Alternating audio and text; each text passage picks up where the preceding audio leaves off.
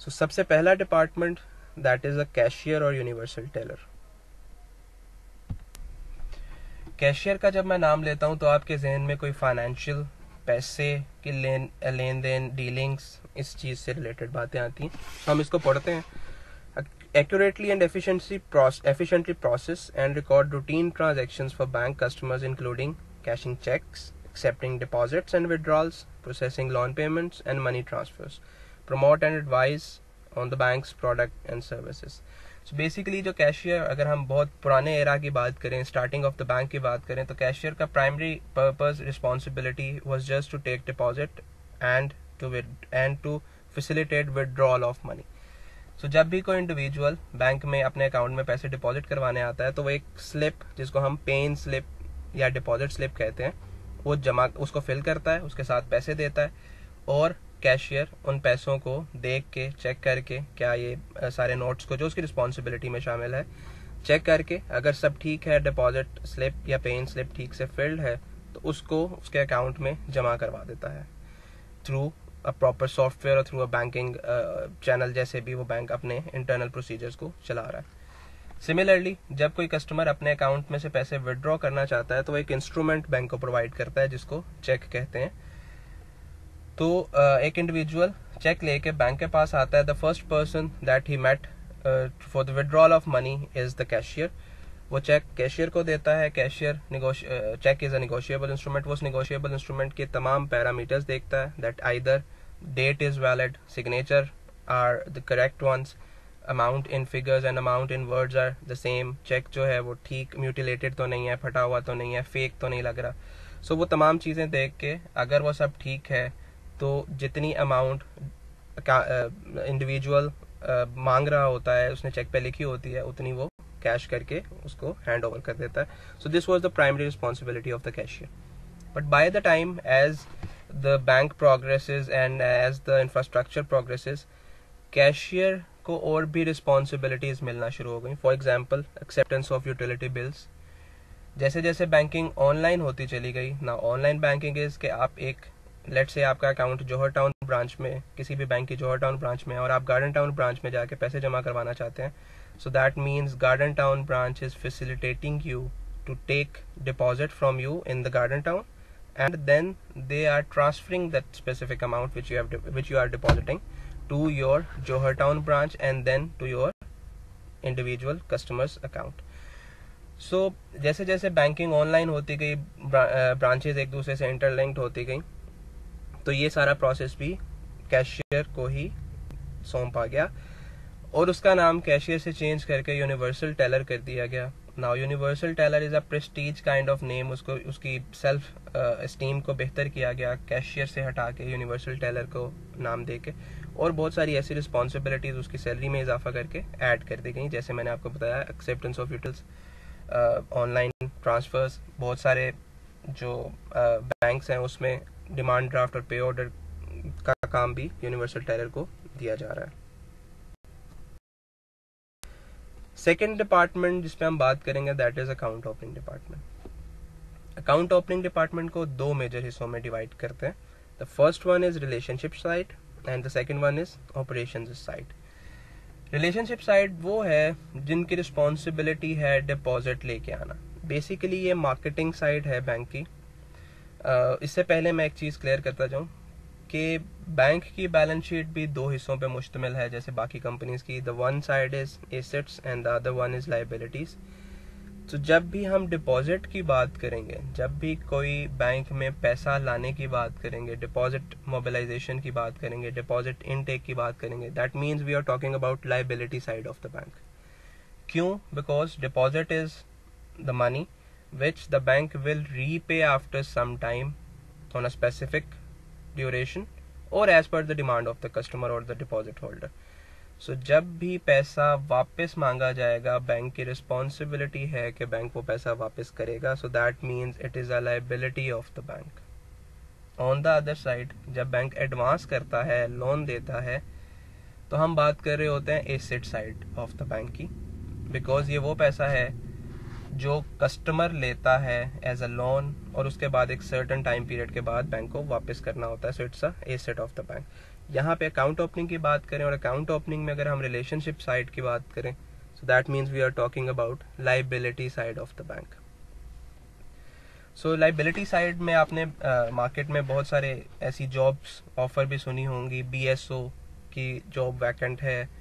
B की job vacant है that means O means business business development officer B S O means business services officer so इस किस्म के मुख्तलिफ़ नामों के साथ मुख्तलिफ़ बैंक हायरिंग करते हैं जि, जिसको हम relationship side of liability side of the bank की बात कर रहे हैं। इनकी प्राइमरी रिस्पॉन्सिबिलिटी मार्केटिंग करना मार्केट में जाना मुख्तलिफ़ लोगों से मिलना और उन लोगों से डिपॉजिट लेके आना। इनकी जॉब नेचर जो है most of the times commission कुछ बेसिक सैलरी और उसके बाद कमीशन बेस्ड होती है। The more deposit they bring to the bank the more earning they will do with that money so this is relationship side the second important side is operation side now remember account opening is a very very important department of any bank why because it is the primary thing it is the primary department is it, it is the primary uh, place where relationship between the bank and the customer is being developed अगर ये relationship ठीक से develop नहीं हुआ that means all the future dealings of the bank will be at stake for example आपने customer का data लेते हुए उसमें कोई गलती कर दी। आपने C N I C number या C N I C check किया और सी एन आई सी को मैच नहीं किया, उस बंदे से जो आपके सामने अकाउंट ओपनिंग के लिए बैठा हुआ है। अकाउंट एक दफ़ा ओपन हो गया, अब वो कस्टमर के अकाउंट में जितनी ट्रांजेक्शन्स हैं, वो तो उस आईडी नंबर पे हो रही हैं। लेकिन आपने तो वो चेक ही नहीं किया। कि वो जो आईडी कार्ड है क्या उसी बंदे का है जो आपके सामने अकाउंट ओपन करवाने के लिए आया था? So, ऐसे सिनेरियो से निकलने के लिए बहुत सारे फंक्शनैलिटीज़ अब डेवलप हो चुकी हैं बायोमेट्रिक्स आ चुकी हैं but the main point to say is you need to be very vigilant while opening any bank account if you are working in account opening department so account opening department के operation की बात करूँ तो सबसे पहले account opening form fill करना उसको verify करवाना। Then there is a thing which is called K Y C know your customer ये एक इंटरनल uh, डॉक्यूमेंट होता है बैंक का जिसके अंदर बैंक आपसे मुख्तलिफ़ बातों के थ्रू आपकी वेरिफिकेशन करने की कोशिश कर रहा होता है कि आपके जो पैसे आएँगे इस अकाउंट में वो कहाँ से आएँगे। ऐसा क्यों है? बिकॉज़ बैंक की रेगुलेशन है कि ब्लैक मनी को बैंकिंग चैनल के थ्रू ऑपरेट होने से बचाना। सो बैंक आपसे पूछता है लेट से एक सैलरीड इंडिविजुअल है जिसका अकाउंट ओपन करना है तो बैंक का जो रिप्रेजेंटेटिव है, जो अकाउंट ओपनिंग डिपार्टमेंट में ऑपरेशन साइड में बंदा काम कर रहा है, वो आपसे पूछेगा कि आपकी सैलरी कितनी है, या आपसे सैलरी स्लिप डिमांड करेगा एज पर प्रोसीजर मैं ज्यूम करता हूँ सैलरी फिफ्टी थाउज़ेंड है। सो सिंपली मल्टीप्लाई करेगा fifty thousand into twelve six lakh will be the answer so वो एज्यूम कर रहा है कि एक आपके अकाउंट में एक साल में छः लाख तक ट्रांजेक्शन होगी इन टर्म्स ऑफ़ सैलरी फिर वो आपसे पूछता है, और सर इसके अलावा आपकी कोई अर्निंग कोई पार्ट टाइम जॉब या कोई ऐसी प्रॉपर्टी जिस पे रेंट आ रहा हो आपको। सो वो कैलकुलेट करने की कोशिश कर रहा है कि आप पूरे साल में इस अकाउंट में कितना डिपॉजिट मोबिलाइज करवाएँगे। कितना डिपॉजिट आएगा और डिपॉजिट विड्रॉ हो सकता है। So based on that talk और बेस्ड ऑन दैट एक्सपीरियंस वो के फॉर्म फिल करेगा और उसमें ये मेंशन करेगा कि इस इंडिविजुअल के अकाउंट में एक साल में अप्रॉक्सीमेटली इतनी ट्रांजेक्शन होगी।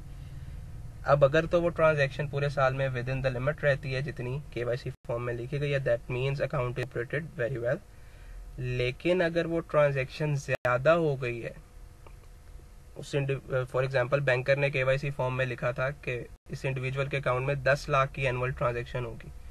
और वो ट्रांजेक्शन एक माह में पंद्रह लाख नेक्स्ट मंथ में तीस लाख, उससे नेक्स्ट में फिफ्टी लाख तक जा रही है। That now that mean something suspicious कहीं ब्लैक मनी आ रही है, या कोई ऐसा पैसा जो कि उस इंडिविजुअल से बिलोंग नहीं करता, क्योंकि उसकी सैलरी तो छः सात लाख थी। कुछ पर्क्स मिला लिए, कुछ रेंटल एग्रीमेंट के थ्रू या कुछ रेंटल इनकम मिला ली। सो सब कुछ मिला के दस लाख बनता था। पचास लाख की ट्रांजेक्शन अगर हो रही है that means something is so ये सारा काम जो है, ये अकाउंट ओपनिंग डिपार्टमेंट कर रहा होता है। वो एक रिलेशनशिप को प्योर सो दैट के ऑडिट में ऑब्जेक्शन ना लगे। एक रिलेशनशिप को ज़्यादा से ज़्यादा फैसिलिटेटिंग रखने में अकाउंट ओपनिंग का ऑपरेशन साइड जो है, वो बहुत इंपॉर्टेंट रोल प्ले करती है। इसके अलावा chequebook issuance ATM issuance different changing in the account और उसकी डिटेल्स में जितनी भी चेंजिंग है ये सारा अकाउंट ओपनिंग डिपार्टमेंट में ऑपरेशन साइड वाला इंडिविजुअल कर रहा होता। है फिर हम बात करते हैं क्लियरिंग डिपार्टमेंट की। क्लियरिंग uh, डिपार्टमेंट अभी मैंने uh, थोड़ी देर पहले आपको बिल्स कलेक्शन में या चेक कलेक्शन में एक एग्जांपल दी थी। कि एक इंडिविजुअल का अकाउंट HBL में है जबकि उसकी जो प्रोसीड्स आनी है जो चेक उसको मिला है वो एमसीबी बैंक का है। सो so, इसका जो पूरा प्रोसेस है बैंक एज एन एजेंट वो प्रोसेस परफॉर्म कर रहा होता है और उसी प्रोसेस में जो लोग काम करते हैं हम कहते हैं जी क्लियरिंग डिपार्टमेंट में काम करते हैं। सो क्लियरिंग डिपार्टमेंट क्या है? It is settlement of cheques और negotiable instruments belonging to different bank for settlement of claims that वही मैं एग्ज़ाम्पल कैरी ऑन करता हूँ कि आपका अकाउंट HBL में है और आपको जो चेक मिला है वो एमसीबी बैंक का है। सो आप एचबीएल में जाते हैं और एचबीएल में वो चेक को डिपॉजिट करवाते थे। नाउ एचबीएल में जो क्लियरिंग डिपार्टमेंट में काम कर रहा है, वो इंडिविजुअल आपसे चेक लेके उसको निफ्ट के प्रोसेस से गुजारता है। Now NIFT is what National Institutional Facilitation Technologies Private Limited ये यकीनन आपने ब्रांच बैंकिंग एंड ऑपरेशन जब पढ़ा था, उसमें पढ़ा होगा। ये एक इदारा है जो जेली इदारा है सेंट्रल बैंक का स्टेट बैंक ऑफ़ पाकिस्तान का, जो ये सारे प्रोसेस को क्लियरिंग के प्रोसेस को फैसिलिटेट करता है। एक बैंक के दूसरे बैंक पे क्लेम्स को थ्रू चेक या थ्रू निगोशिएबल इंस्ट्रूमेंट्स जो आते हैं, उनको सेटल करता है। तो क्लियरिंग डिपार्टमेंट में इंडिविजुअल जो काम कर रहा है, वो आपके चेक आपके चेक को रिसीव करेगा और इसी तरह बहुत सारे और कस्टमर के चेक्स जो मुख्तलिफ़ बैंक हैं, उनको इकट्ठा करता है। उसको निफ्ट के इंडिविजुअल्स को इंडिविजुअल को हैंड ओवर करता है। देन उसके अगेंस्ट जो नेक्स्ट डे प्रोसीड्स आती हैं वो इंडिविजुअली कस्टमर के अकाउंट में जब क्रेडिट होती हैं सो उसमें क्लियरिंग को रिलीज़ करने का एक प्रोसेस होता है। वो सारा प्रोसेस क्लियरिंग डिपार्टमेंट में हो रहा होता है। सो so, अगर मैं समराइज करूँ क्लियरिंग डिपार्टमेंट का काम मुख्तलिफ़ बैंकों के जब चेक्स आते हैं तो उनकी प्रोसीड्स अपने कस्टमर के अकाउंट में जमा करवाने के लिए जितना प्रोसेस है वो क्लियरिंग डिपार्टमेंट कर रहा होता।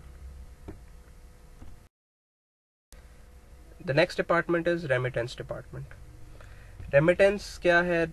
The purpose of remittance is to move funds from sender to the receiver now though senders and receivers can be of the same bank they can be of the same bank and of the same branch they can be of the same bank and different branches they can be two different banks so इसी हवाले से अगर हम categorise करें तो पहली term use होती है intra bank transfer intra bank transfer का मतलब है कि सेम बैंक है बट ब्रांचेस मुख्तलिफ़ हो सकती हैं, या कस्टमर मुख्तलिफ़ है. So that means the transfer from one person to another within the same bank so this is called intra bank transfer then there is inter bank transfer inter bank transfer जैसे international एक word है international means between the countries two और more countries similarly inter bank means between the two different banks so inter bank transfer जब आएगा, इसका मतलब है एक बैंक एच बी एल हो सकता है second bank can be Bank Islami the third bank can be Askari Bank Limited so जब एक बैंक से दूसरे बैंक में पैसे ट्रांसफ़र होने हैं so that is what we call inter bank transfer और ये चेक के थ्रू भी होता है पे ऑर्डर डिमांड ड्राफ्ट के थ्रू हो सकता है ऑनलाइन बैंकिंग के थ्रू हो सकता है और रियल टाइम क्रॉस सेटलमेंट जिसको हम आरटीजीएस कहते हैं, इसके थ्रू हो सकता है। वन बाय वन डिस्कस करते हैं। इंट्रा बैंक ट्रांसफ़र का मतलब है online transfer bank has a software and bank has the capability in the capacity to transfer from one branch to another branch आप गार्डन टाउन ब्रांच में पैसे जमा करवाते हैं और आपको उसको ट्रांसफ़र करवाना है, कराची में किसी जगह पे।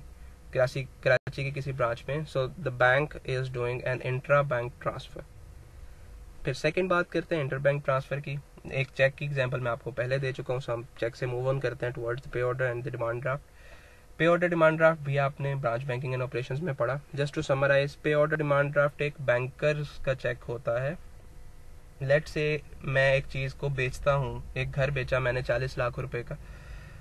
और उसके अगेंस्ट जो मुझे डॉक्यूमेंट मिला that is a cheque so I have a doubt कि जिसने मुझे चेक दिया है, अगर उसके अकाउंट में पैसे ना हुए तो मुझे ये प्रोसीड्स नहीं मिलेंगी। सो so, इसलिए मैं चेक एक्सेप्ट नहीं करता। और मैं उसे कहता हूँ कि मुझे पे ऑर्डर डिमांड ड्राफ्ट या बैंकर्स चेक बना के दें। Now what is a banker's cheque banker's cheque जो है, ये एक बैंक का अपना इशू किया गया चेक है, ना कि कस्टमर का। सो द प्रोसेस इज़ कि वो कस्टमर जिसने मुझे पैसे देने हैं, वो अपने बैंक में जाएगा और अपने बैंक में रिक्वेस्ट फिल करेगा कि एक बैंकर्स चेक बना दे। Now the bank first deduct that amount from customer's account जो भी इंडिविजुअल जिसने मुझे पैसे देने थे जब वो अपने बैंक में जाएगा तो उसके बैंक को तो पता है कि अकाउंट में पैसे हैं या नहीं। सो so, वो बैंक पहले एक चेक के थ्रू कमर के अकाउंट से पैसे डेबिट करेगा और अपने अकाउंट में यानी कि बैंक के अकाउंट में इसको हम फ्लोटिंग अकाउंट कहते हैं उसमें जमा कर लेगा।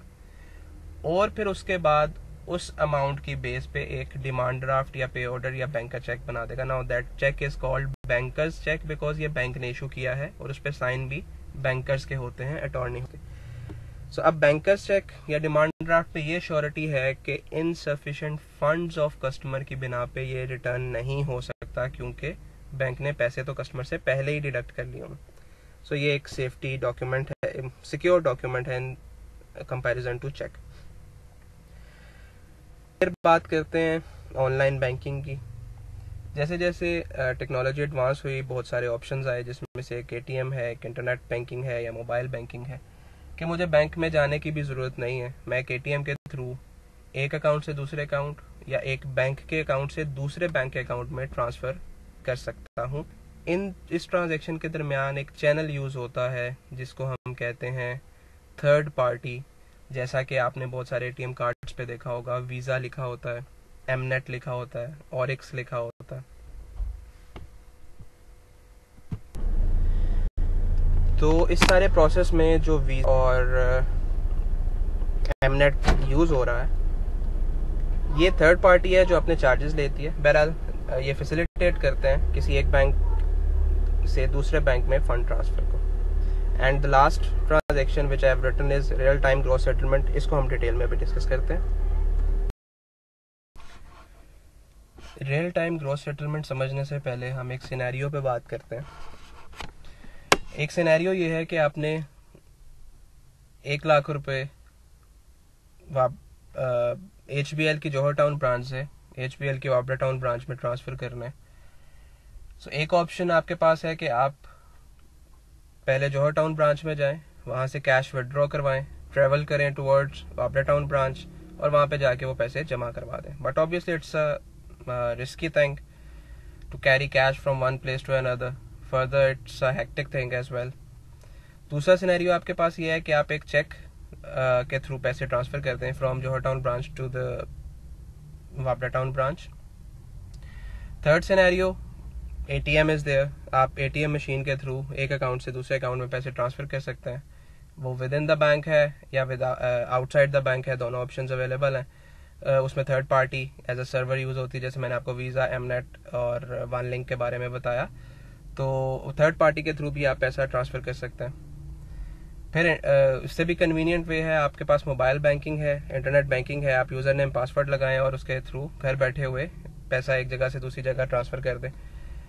लेकिन इन सारी चीज़ों में जो इशू है दैट इज़ एवरी प्रोडक्ट और every method has some limitations for example you can not transfer a specific more than a specific amount from ATM and similarly through the mobile banking और the internet banking अगर मैं एक लाख की बात करूँ तो yes it is possible कि आप एटीएम से या इंटरनेट बैंकिंग से या मोबाइल बैंकिंग से पैसे ट्रांसफ़र कर लें। लेकिन अगर ये ट्रांजेक्शन 50 मिलियन की है तो फिर बैंक्स के सारे मोड्स फेल हो जाते हैं। फिर वो ये अलाउ नहीं करता just because of security risk ऐसा नहीं है कि बैंक के पास इंफ्रास्ट्रक्चर नहीं है, लेकिन इसलिए बिकॉज़ जो जो इंटरनेट बैंकिंग है मोबाइल बैंकिंग है, बहुत सारे फिशिंग स्कैम्स और बहुत सारे हैकिंग मोड्स अवेलेबल हैं, बहुत सारे ऐसे अनासर मौजूद हैं, जो आपके अकाउंट को हैक करके मैनिपुलेट कर सकते हैं।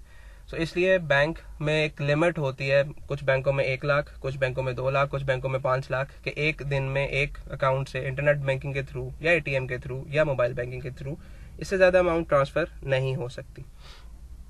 सो so, ऐसी सिचुएशन में अगर एक बैंक से दूसरे बैंक में पैसे जमा करवाने हैं तो एक मोड बचता है कि आप एक बैंक के ब्रांच से कैश विड्रॉ करवाएँ। और दूसरे बैंक की ब्रांच में जमा करवाएँ but obviously it's a very hectic thing it's a risky robbery का चांस है थेफ्ट का चांस है. सो सेकंड ऑप्शन चेक है कि आप एक चेक पे लिखें कि ऐसे इंडिविजुअल के नाम जिसके, जो कि बेनिफिशरी है या जिसको आप पैसे देना चाहते हैं।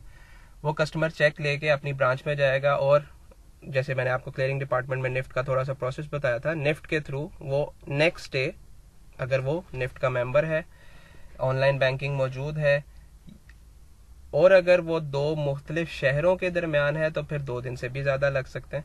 सो वो पैसों की प्रोसीड्स आते हुए चेक के थ्रू या पे ऑर्डर या डिमांड ड्राफ्ट के थ्रू एक दिन से ज़्यादा टाइम लग सकता है।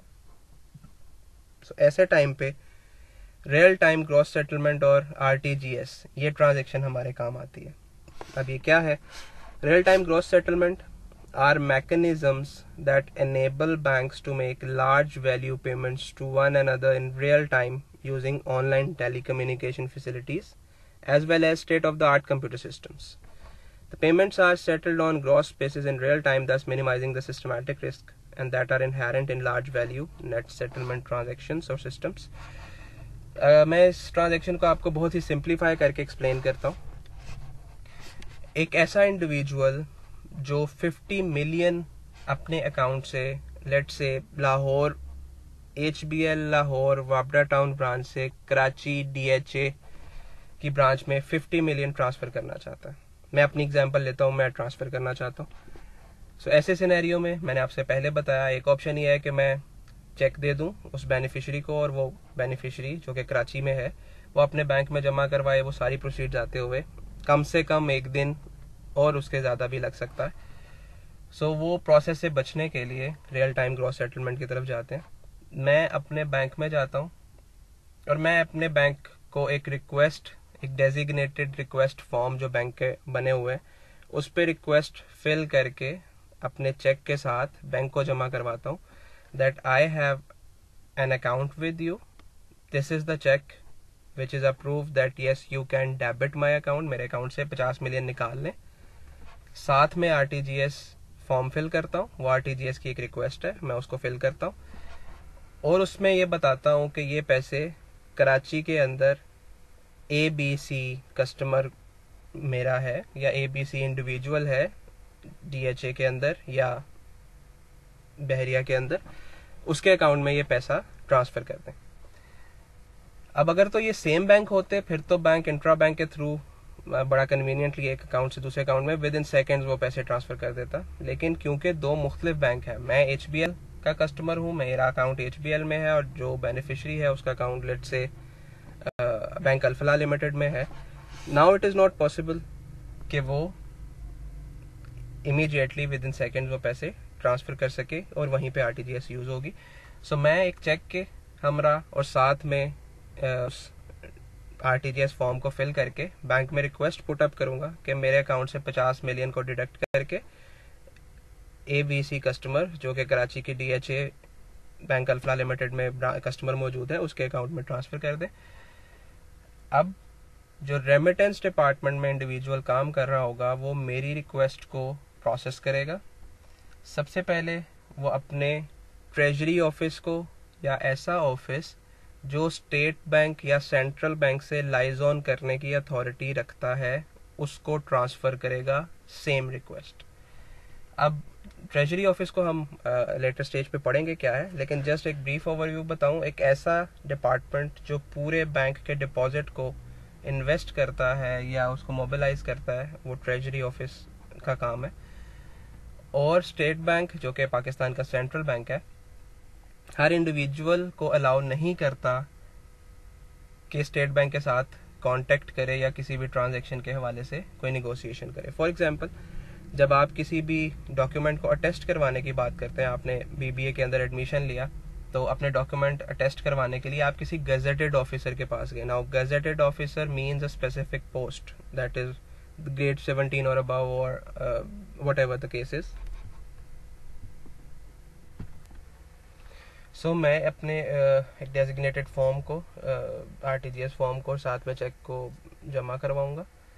बैंक को बैंक का account opening form sorry bank का जो रेमिटेंस ऑफिसर है वो मेरी एप्लीकेशन को पुट अप करेगा टुवर्ड्स द ट्रेजरी तो मैं आपको बता रहा था कि गजेटेड ऑफिसर से आप अटेस्ट करवाते हैं that means he is having a certain post जो आपके डॉक्यूमेंट से टेस्ट कर सकता है। सिमिलरली बैंक के अंदर ऐसे डेजिग्नेटेड ऑफिसर्स मौजूद होते हैं जो सेंट्रल बैंक से कांटेक्ट कर सकते हैं सेंट्रल बैंक उनकी बात को एक्सेप्ट कर सकता है। अदरवाइज़ कोई भी इंडिविजुअल uh, चाहे वो बैंकर है चाहे वो ऑफिशियल है बैंक का लेकिन अगर वो ऑथराइज नहीं है तो वो स्टेट बैंक से या सेंट्रल बैंक से डील नहीं कर सकता। सो so, इसलिए मैं आपको ट्रेजरी ऑफ़िस का नाम ले रहा हूँ। सो ट्रेजरी ऑफ़िस को जो रेमिटेंस ऑफिसर होगा वो इन्फॉर्म करेगा दैट ओवर कस्टमर जो मैंने आपको अपनी एग्ज़ाम्पल दी पचास मिलियन की अमाउंट की बात की कि आप हमारे बैंक से कराची के अंदर bank Alfalah limited DHA branch में 50 मिलियन अमाउंट ट्रांसफ़र होनी है। नाउ द प्रोसेस इज़ मैंने रिक्वेस्ट की रेमिटेंस ऑफिसर को रेमिटेंस ऑफिसर ने रिक्वेस्ट की अपने ट्रेजरी ऑफ़िस को ट्रेजरी ऑफ़िस रिक्वेस्ट करेगा सेंट्रल बैंक को, यानी कि स्टेट बैंक ऑफ़ पाकिस्तान को। सेंट्रल बैंक ऑफ़ पाकिस्तान उस ट्रांजैक्शन को प्रोसेस करेगा अपनी बुक्स ऑफ़ अकाउंट्स में। ये बात आप पहले से जानते होंगे कि हर कमर्शियल बैंक का सेंट्रल बैंक में अकाउंट ओपन होना मैंडेटरी है। सो दैट मीन्स मेरे बैंक का यानी कि एच का और वो बैंक जिसमें पैसे ट्रांसफ़र होने हैं यानी कि बैंक अल्फला दोनों के अकाउंट मौजूद होंगे स्टेट बैंक के साथ। तो स्टेट बैंक उसको प्रोसीड करेगा उस ट्रांजेक्शन को और जैसे ही ट्रांजेक्शन प्रोसेस होगी, उसका एक यूनिक नंबर जनरेट होता है, जिसको हम कहते हैं R T G S number real time gross settlement number that is a unique code जो एक सर्टन ट्रांजेक्शन को रिफ्लेक्ट कर रहा होता है। फॉर एग्ज़ाम्पल एक बार कोड की बात कर लें, आप ग्रोसरी स्टोर पे जाते हैं, आप एक प्रोडक्ट देते हैं कैशियर को कैशियर उसको स्कैन करता है एक बार कोड रीडर के थ्रू जैसे ही वो स्कैन करता है, वही प्रोडक्ट सामने आती है। That means every product has a unique code similarly RTGS भी एक यूनिक कोड पे मुश्तमिल होती है। सो so, ट्रांजेक्शन जैसे ही स्टेट बैंक प्रोसेस करता है एक आरटीजीएस नंबर जनरेट होता है और वो आरटीजीएस नंबर इन्फॉर्म कर दिया जाता है दोनों बैंकों के यानी कि रिक्वेस्टेड जिसने रिक्वेस्ट की जिस बैंक ने और बेनिफिशियरी बैंक यानी कि जहाँ पैसे ट्रांसफ़र होने हैं। दोनों के ट्रेजरी ऑफ़िस या जो डेजिग्नेटेड ऑफिसर्स हैं जो स्टेट बैंक से या सेंट्रल बैंक से रबता रख सकते हैं उनको इन्फॉर्म कर दिया जाता है एक बैंक को that yes we have taken your transaction और वो पैसे अब हम ट्रांसफ़र करने जा रहे हैं towards the beneficiary bank so beneficiary bank bank Alfalah limited था यहाँ. बैंक अल्फला लिमिटेड के ट्रेजरी ऑफ़िस को इन्फॉर्म कर दिया जाएगा. ट्रेजरी ऑफ़िस जो कि कहीं डिफरेंट एरिया में भी हो सकता है डिफरेंट सिटी में हो सकता है, वो इन्फॉर्म करेगा उस रिस्पेक्टिव ब्रांच को जिस ब्रांच में आप पैसे ट्रांसफ़र करना चाहते थे, यानी कि डीएचए ब्रांच और फिर डीएचए ब्रांच से वो प्रोसीड्स फॉरवर्ड होंगी उस इंडिविजुअल कस्टमर के नाम पे, जो आपने बेनिफिशियरी के तौर पे लिखा आरटीजीएस फॉर्म फिल करते हुए। So that is a whole transaction which is called real time gross settlement so settlement last procedure कैसे होती है? सेंट्रल बैंक के पास, क्योंकि सब बैंकों के अकाउंट हैं सो so वो एक अकाउंट को डेबिट कर देता है और एक अकाउंट को क्रेडिट सो डेबिट वो किसको करेगा? उस बैंक को जिसमें से पैसे विदड्रॉ हो, यानी कि एच को और जिस अकाउंट में पैसे जमा हो रहे हैं यानी कि बैंक अल्फला लिमिटेड उसके अकाउंट को 50 मिलियन से क्रेडिट कर दिया जाएगा। और बैंक रिस्पेक्टिवली वो 50 मिलियन अब आपके उस कस्टमर जिसको आप पैसे ट्रांसफ़र करना चाहते थे उस अकाउंट में ट्रांसफ़र कर देगा। सो ये पूरी transaction R T G S real time gross settlement कहलाती है। सो so, अब अगर हम फाइनल में बात करें अभी तक हमने मुख्तलिफ़ डिपार्टमेंट्स पढ़े, जिसमें कैशियर और यूनिवर्सल टेलर पढ़ा अकाउंट ओपनिंग फॉर्म पढ़ा क्लियरिंग डिपार्टमेंट पढ़ा रेमिटेंस डिपार्टमेंट पढ़ा। ये सारे डिपार्टमेंट्स ऑपरेशंस डिपार्टमेंट कहलाते हैं। As an aggregate as a whole all these are called operations department remittance दो किस्म की होती हैं। Inward remittance outward remittance inward remittance means कि आपके अकाउंट में पैसे आ रहे हैं, आपके बैंक में पैसे जमा हो रहे हैं। या आपके कस्टमर के अकाउंट क्रेडिट हो रहा है। और आउटवर्ड रेमिटेंस का मतलब आपके अकाउंट से पैसे निकल रहे हैं बैंक के अकाउंट से पैसे दूसरे बैंक में जा रहे हैं। So this is called outward remittance similarly local remittance भी होती है फॉरेन रेमिटेंस भी होती है। If it is between the same countries boundary तो इसको हम इनवर्ड सॉरी uh, इसको हम लोकल रेमिटेंस कहेंगे। और अगर ये ट्रांजेक्शन बिटवीन द बॉर्डर्स है internationally between two different borders है तो इसको हम फॉरेन रेमिटेंस कहेंगे। उनमें से पहला डिपार्टमेंट है ट्रेड डिपार्टमेंट सो ट्रेड जहाँ भी वर्ड ट्रेड आता है, आपके जहन में इम्पोर्ट एक्सपोर्ट ज़रूर आता होगा। इम्पोर्ट एक्सपोर्ट या बाइंग एंड सेलिंग ये लोकल भी होती है फ़ॉरन भी होती है। अगर ये ममालिक के दरमियान हो रही है तो हम इसको फ़ॉरन कहेंगे। दो क्रॉस बॉर्डर हो रही है, दो मुख्तलिफ़ बाउंड्रीज में कंट्रीज़ की बाउंड्रीज के दरमियान हो रही है तो ये फॉरेन ट्रेड कहलाएगी। और अगर ये ट्रेड अपने ही मुल्क में हो रही है तो इसको हम लोकल ट्रेड कहते हैं। सो बाइंग को इम्पोर्ट से या सेलिंग को एक्सपोर्ट से डिनोट किया जा रहा है। सो इट फैसिलिटेट्स बाइंग और इम्पोर्ट एंड सेलिंग और export within the country and outside the country if it is within the country it is local trade and if it is outside the country, it is foreign trade.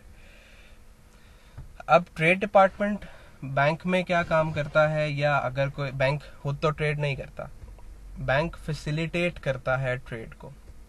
Bank के पास मुख्तलिफ़ instruments हैं, bank के पास मुख्तलिफ़ credit facilities हैं, bank के पास मुख्तलिफ़ expertise और professionals हैं जो उस ट्रेड को एग्जीक्यूट करने में हेल्प करते हैं।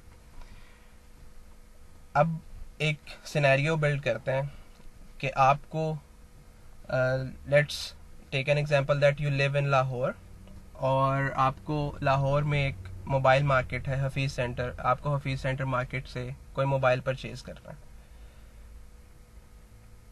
What will be the process? You will go to the market. You will search that product out. Maybe आप मुख्तलिफ़ शॉप से उसको कंपैरिजन भी लें। एक शॉप पे की प्राइस को दूसरी शॉप की प्राइस से। एक शॉप में जो फीचर्स बताए जा रहे हैं। या टेक्निकलिटीज़ बताई जा रही हैं और उसके अगेंस्ट जो मुख्तलिफ़ और भी प्रोडक्ट्स दिखाई जा रही हैं आप उनको भी कंपेयर करें मुख्तलिफ़ प्रोडक्ट्स के साथ। सो so, ऐसे सिनेरियो में यू आप एक चीज़ ख़रीद रहे हैं दुकानदार एक चीज़ को बेच रहा है एक ट्रांजेक्शन एग्जीक्यूट हो जाती है so it's somehow convenient कि आपने जाके प्रोडक्ट को देख लिया आपने प्रोडक्ट को एनालाइज कर लिया उसके प्रॉस कॉन्स देख लिया उसकी फ़िज़िकल पोजीशन को देख लिया उससे प्राइस एडजस्टमेंट कर ली। और फिर उस चीज़ को ख़रीद लिया। अब उससे नेक्स्ट सिनेरियो बिल्ड करते हैं कि आपको जो चीज़ खरीदनी है वो आपके शहर में नहीं बल्कि एक दूसरे शहर में। लेट्स टेक एन एग्ज़ाम्पल के वो गुजरावाला में है। सो so, थोड़ी सी मुश्किल बढ़ गई। You have to travel a bit far to buy that product अब आप गुजरावाला जाते हैं एक प्लान करते हैं सुबह ट्रैवल के लिए। कोई कन्वेंस बिल्डअप करते हैं, कोई कन्वेंस अरेंज करते हैं, या पब्लिक ट्रांसपोर्ट यूज़ करते हैं, आप उस शॉप पे जाते हैं जो एक डिफरेंट सिटी में है। प्रोडक्ट देखते हैं, आपको पसंद नहीं आती, आप वापस आ जाते हैं, या पसंद आती है, वहाँ पे भी आप मार्केट सर्च आउट करते हैं, कोई बेहतर प्रोडक्ट मिलती है, आप उसको ले लेते हैं। सम हाउ डिफरेंट सिटी के अंदर पहली सिचुएशन की नस्बत थोड़ी सी मुश्किल है but still it is manageable अब हम बात करते हैं एक मुख्तलिफ़ प्रोविंस की। You are living in Lahore Punjab और अब आपको एक प्रोडक्ट खरीदनी है जो कि कराची में है। So you need to go to another province now this is a bit more hectic thing अब आपको मजीद प्लान करना है उस प्रोडक्ट के बारे में इंफॉर्मेशन आप बिफोर हैंड लेके जाएँगे कि इतना लंबा ट्रैवल करने के बाद अगर ये प्रोडक्ट आपकी नीड्स के मुताबिक नहीं है सो आप वहाँ जाके इनकार नहीं कर सकते। या एक बहुत बड़ी कॉस्ट पेयर करनी पड़ेगी आपको। सो उसके लिए आप बिफोर हैंड इंफॉर्मेशन लेते हैं उस प्रोडक्ट की। शायद फ़ोन पे बात करते हैं। उस प्रोडक्ट की ऑलमोस्ट फिफ्टी सिक्सटी परसेंट चीज़ों को डन करते हैं और फिर वहाँ जाके बाइंग करने की कोशिश करते हैं। But still it's bit difficult from the previous examples but it is manageable लेकिन जो मुश्किल बढ़ रही है ट्रैवलिंग के साथ साथ मुश्किल ये भी बढ़ रही है कि अब जो रूल्स और रेगुलेशन अप्लाई हो रहे हैं, वो मुख्तलिफ़ होते जा रहे हैं। If it is within the same province probably वहाँ पे जो रूल्स लगते हैं, अगर एक डिफरेंट प्रोविंस की बात करें तो शायद वो रूल वहाँ पे सेम एप्लीकेबल ना हो। तमाम रूल्स जो पंजाब पे एप्लीकेबल हैं प्रॉबेबली वो सिंध पे एप्लीकेबल नहीं है एंड वाइस वर्सा बहुत सारी ऐसे टैक्सेस और लेवीज और ड्यूटीज़ हैं जो पंजाब पे एप्लीकेबल हो सकती हैं, सिंध में नहीं, या सिंध में हो सकती हैं, पंजाब में नहीं. So that means complications are being built और कॉम्प्लिकेशंस आर बीइंग गैदर्ड और आपको एक ट्रांजेक्शन करने में मुश्किल पेश आना शुरू हो गई हैं. Now think about if you want to buy a product which is not within the city which is not within your country और province but it is outside the country. यहाँ पे भी दो सिनेरियोज बनते हैं। एक वो मुल्क है जो आपके मुल्क का फ्रेंडली कंट्री कहलाता है या आपके मुल्क के उसके साथ अच्छे रिलेशन हैं। मैं यहाँ पे एग्जांपल लेता हूँ चाइना की। आप एक प्रोडक्ट खरीदते हैं जो चाइना से खरीदते हैं। इन आपका बॉर्डर साथ है। आप वहाँ पे ट्रेवल कंफर्टेबली कर सकते हैं। वीज़ा प्रॉब्लम्स हैं, लेकिन although they are not that strict जो बहुत सारे यूरोपियन कंट्रीज़ के कंपैरिजन में हो सकते हैं। बट एक शहर से निकल के प्रोविंस से निकल के जब आप बॉर्डर क्रॉस करते हैं that means those complication are very much complex now उसके लिए अब आपको सिर्फ़ इंफॉर्मेशन नहीं, बहुत सारी मजीद चीज़ें, जिसमें वीज़ा ट्रेवलिंग स्टे और प्रोडक्ट की मार्केट के बारे में, वहाँ के खाने के बारे में और बहुत सारी चीज़ें मजीद भी देखनी है। और उस प्रोडक्ट के रूल्स रेगुलेशंस भी देखने हैं, क्या वो इम्पोर्ट की भी जा सकती है। क्या ऐसी प्रोडक्ट पाकिस्तान में लाने की इजाज़त भी है? क्या इतने फॉरेन एक्सचेंज रिज़र्व बाहर के मुल्क जा भी सकते हैं? सो दैट मीन्स कॉम्प्लिकेशन ज़्यादा हो गई। और इससे भी अगर हम ज़्यादा सिनेरियो की बात करें एक ऐसा मुल्क जिसके टर्म्स आपके मुल्क के साथ अच्छे नहीं हैं? ट्रेड अलाउड है but they are not on a very friendly note India Russia Israel maybe so in that scenario uh, if you want to buy if you want to import product from that specific place or even export your product तो पैसे तो आपको चाहिए ना। जब कोई individual product खरीद रहा है and you are exporting that means you are concern about the money you are concern about the price of the product जो आप प्रोडक्ट भेज रहे हैं तो उसकी प्राइस आपको मिलनी चाहिए।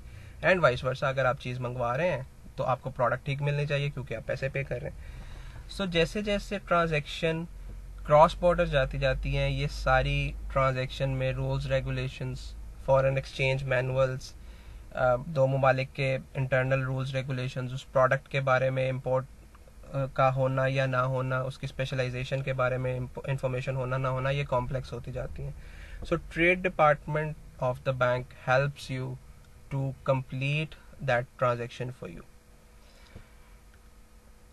bank आपको स्पेशलाइज्ड इंफॉर्मेशन भी प्रोवाइड करता है। बैंक आपको फॉरेन एक्सचेंज भी प्रोवाइड करता है।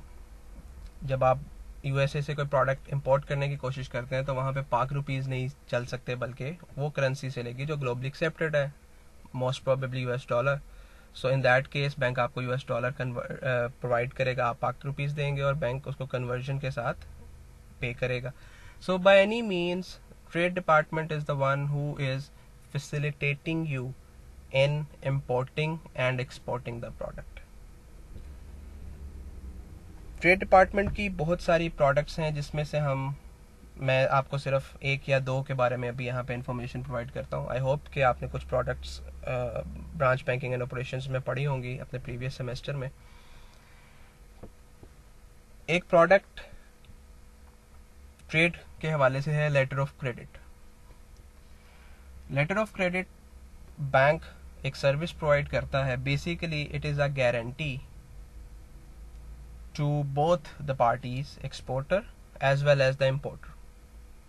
एक गारंटी पे करता है, या गारंटी के तौर पे गारंटर के तौर पे काम करता है बैंक कि अगर प्रोडक्ट के डॉक्यूमेंट्स ठीक हुए, जो इंपोर्ट की जा रही है, और वो प्रोडक्ट डॉक्यूमेंट्स ठीक होने का मतलब क्लीन डॉक्यूमेंट्स इसकी वजाहत मैं अभी आपको करता हूँ। अगर वो डॉक्यूमेंट्स क्लीन हैं, वो प्रोडक्ट जो इम्पोर्ट की जा रही है तो इम्पोर्टर आपको, यानी कि एक्सपोर्टर को पे करेगा।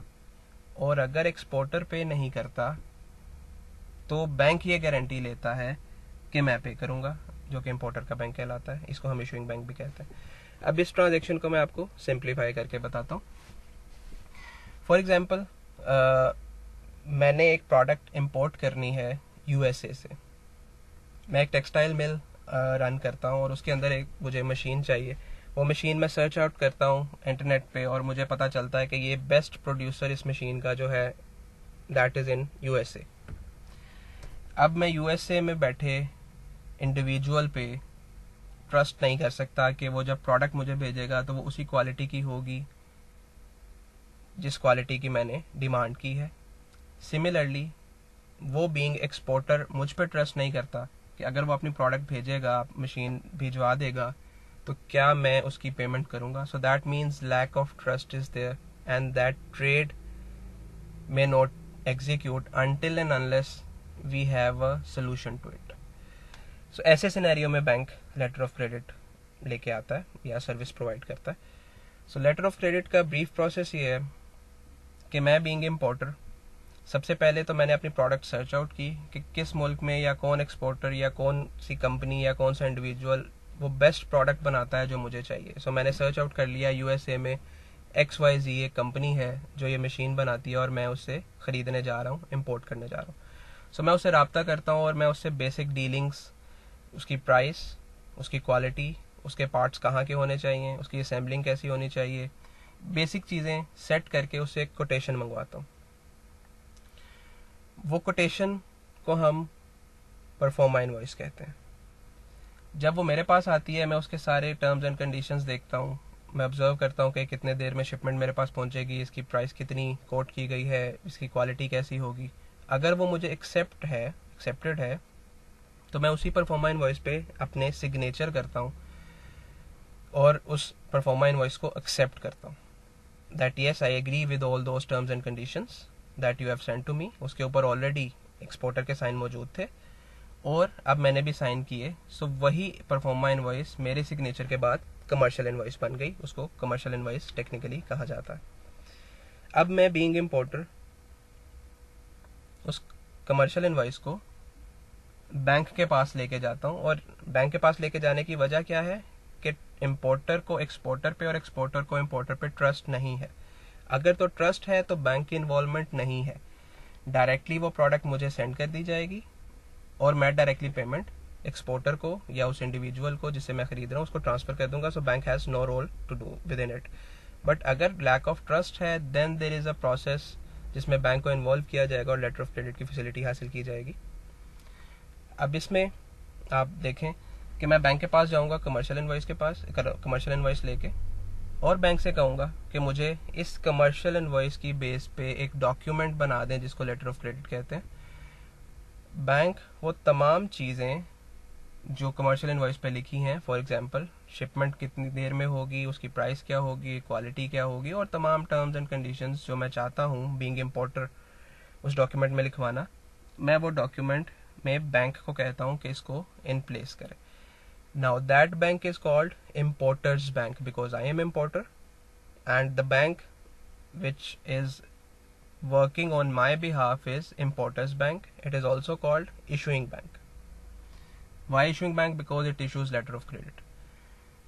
So issuing bank मेरी उन तमाम टर्म्स एंड कंडीशंस को देखते हुए एक डॉक्यूमेंट प्रिपेयर करता है जिसको लेटर ऑफ़ क्रेडिट का ड्राफ्ट कहा जाता है वो ड्राफ्ट मुझे दिखाया जाता है कि देख लें, हमने ड्राफ्ट प्रिपेयर कर लिया ये ड्राफ्ट अब अगर आप ओके करें तो हम इसको एक्सपोर्टर को सेंड कर देंगे। मुझे जो डाउट्स हैं, मैं तमाम टर्म्स एंड कंडीशन उस डॉक्यूमेंट में, जिसको मैं लेटर ऑफ़ क्रेडिट का नाम दे रहा हूँ, उसमें इनकॉर्पोरेट करवाता हूँ बैंक से। फॉर एग्ज़ाम्पल मैं ये भी इनकॉर्पोरेट करवाता हूँ कि आप अपने मुल्क की एम्बेसी से अपना एक कैरेक्टर सर्टिफिकेट लें, या मैं ये इनकॉर्पोरेट करवाता हूँ कि जब आप ये प्रोडक्ट मुझे भेजने लगेंगे, उससे पहले किसी थर्ड पार्टी से इंस्पेक्शन करवाएँ। जैसे पाकिस्तान में पाक व्हील्स एक कार शोर के नाम से एक सर्विस प्रोवाइड करती है कि एक गाड़ी की इंस्पेक्शन करती है और उस पर एक सर्टिफिकेट दे देती है। सो so, मैं भी ऐसी कोई रूल्स रेगुलेशन या टर्म एंड कंडीशन डाल सकता हूँ कि जब आप ये मशीन को प्रोड्यूस कर लेंगे एक थर्ड पार्टी जो इंस्पेक्शन करती है उससे एक सर्टिफिकेट लें कि ये मशीन ठीक पैरामीटर्स पे बनी है। सो so, ऐसी तमाम टर्म्स एंड कंडीशन मैं लेटर ऑफ़ क्रेडिट में इनकॉर्पोरेट करवाता हूँ और मैं अपने बैंक को कहता हूँ कि इसको ट्रांसमिट कर दे to the exporter now exporter का भी एक बैंक होता है, जिसको एक्सपोर्टर्स बैंक कहते हैं, या बेनिफिशियरी बैंक कहते हैं। बेनिफिशियरी इसलिए because exporter is the beneficiary he is the one who is receiving the money who will receive the proceeds so exporter का बैंक बेनिफिशियरी बैंक कहलाता। अब, मेरा बैंक यानी कि इशुइंग बैंक बेनिफिशियरी के बैंक को वो letter of credit electronically transfer कर देता है। और एक्सपोर्टर का बैंक एक्सपोर्टर को बता देता है कि आपका लेटर ऑफ़ क्रेडिट आ गया।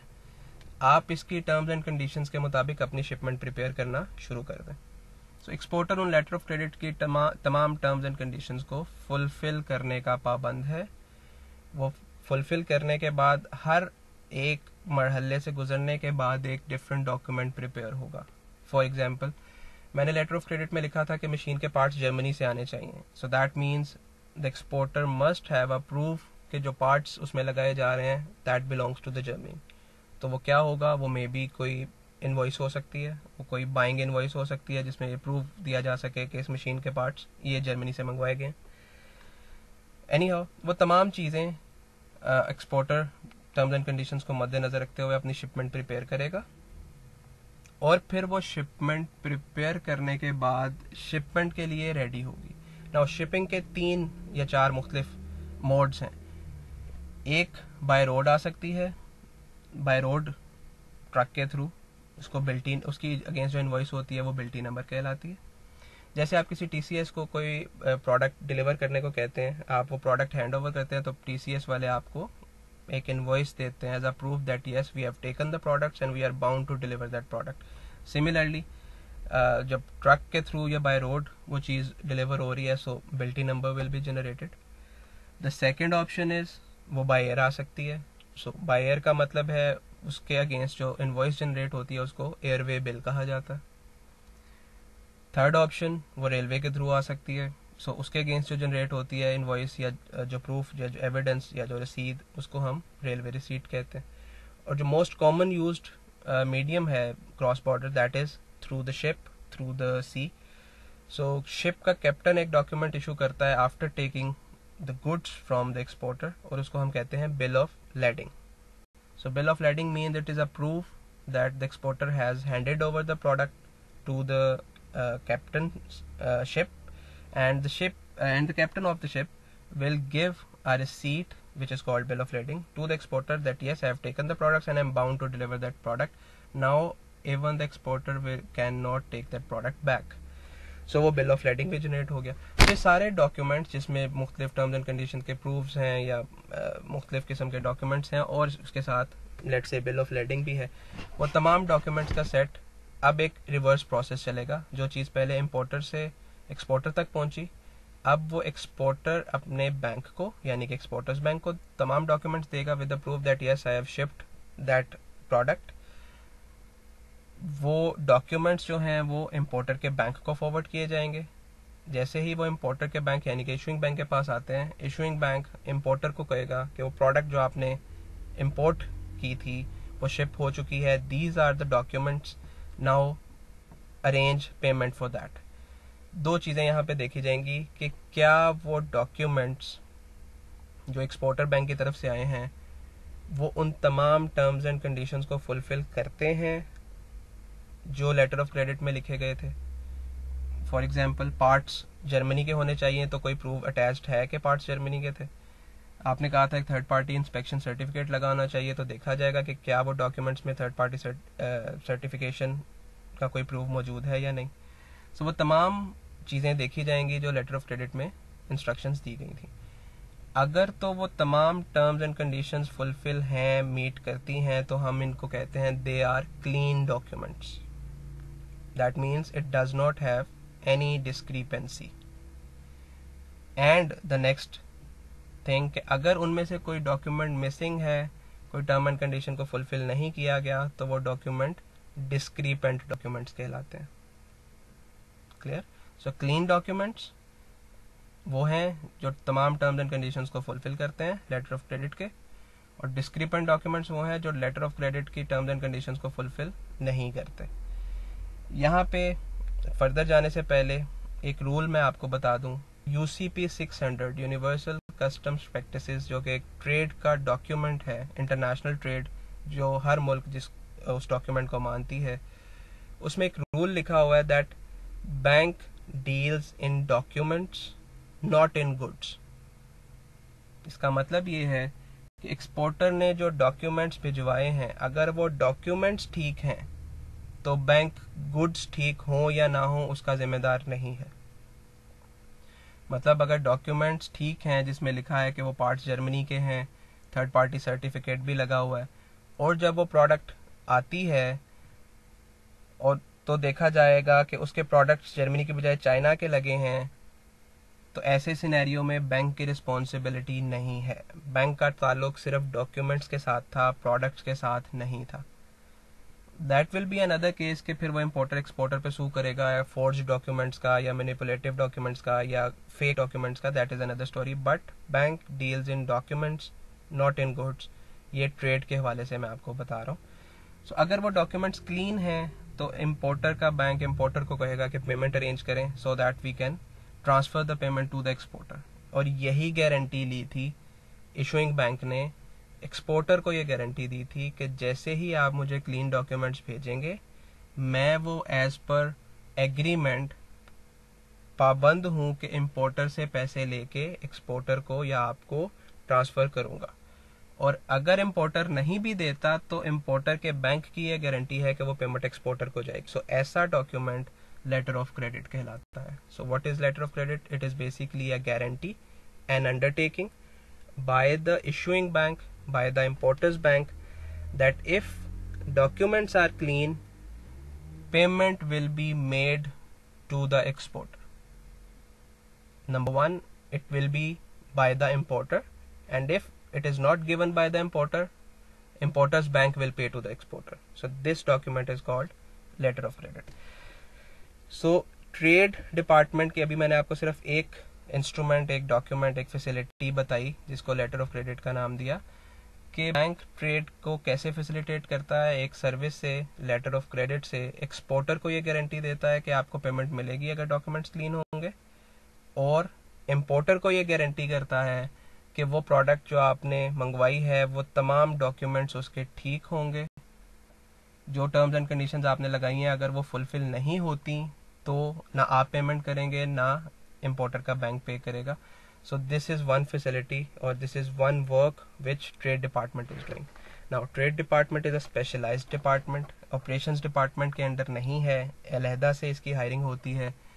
या आप कह सकते हैं कि एक ब्रांच के अंदर अगर कोई ट्रेड ऑफिसर काम कर रहा है तो वो ब्रांच मैनेजर के अंदर होने के साथ साथ ट्रेड के एक स्पेसिफिक हेड के अंदर भी होता है because it is a specialised work उसने फॉरेन एक्सचेंज मैनुअल्स भी देखने हैं. उसने ये भी देखना है कि क्या प्रोडक्ट इंपोर्ट की जा सकती है या नहीं. ये भी देखना है कि किसी ऐसे मुल्क से इम्पोर्ट की जा रही है जो बैन है। अगर बैन है तो लेटर ऑफ़ क्रेडिट इशू नहीं किया जा सकता। So there are multiple complex things which a trade department needs to do so I hope के लेटर ऑफ़ क्रेडिट और ट्रेड डिपार्टमेंट का कुछ ब्रीफ वर्क जो है आपको समझ आ गया होगा। नेक्स्ट डिपार्टमेंट जो बहुत ही इंपॉर्टेंट डिपार्टमेंट है that is credit department credit department की भी दो साइड्स हैं. The one is relationship side which is responsible for lending and the operation side which is responsible for analysing and minimising the lending risk relationship side वो है जो नए customer को लेके आती है या नए इंडिविजुअल्स को कंपनीज़ को इंस्टीट्यूशंस को जो बैंक से लोन लेना चाहते हैं. सो so, इनमें भी डिफरेंट हायरार्कीज हैं. रिलेशनशिप एसोसिएट है रिलेशनशिप मैनेजर है यूनिट हेड है and there are plenty of other hierarchies so relationship side का मेन जो काम है, वो ये है कि एक इंडिविजुअल को सर्च आउट करे the one who is needing the money उसका प्रपोजल प्रिपेयर करे, वो प्रपोजल में उसके बेसिक फैक्ट्स बिकॉज़ बैंक को ये देखना है कि वो पैसा जो लेंड किया जा रहा है, वो वापस भी लेना है।